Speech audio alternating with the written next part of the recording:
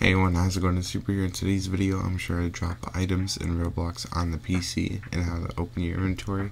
So basically, it's it's pretty simple to do. How to open your inventory, you just press the backtick key here, and it opens it up. You can see I have a bunch of items in here. While I'm playing this uh, gear game, which is to test a bunch of gears and stuff. For this tutorial, you can just press backtick key again to close it and open it, which is pretty easy. So you can swap out items. Right, just like this so it's pretty simple. Now I'm going to to drop an item. So I'm going to equip the item I want to drop, which is this Monster Mash Party Potion here. Just go ahead and press the backspace key. And like that, you just drop it. And then it, you know, goes on the ground. If I want to have this item again, just go ahead and touch it, and then it'll be back right in my inventory again. But uh, basically, you can just empty your whole inventory and keep pressing backspace if you want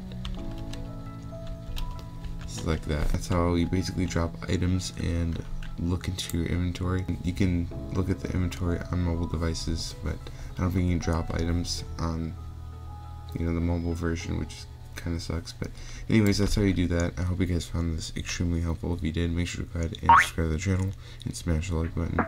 And until next time.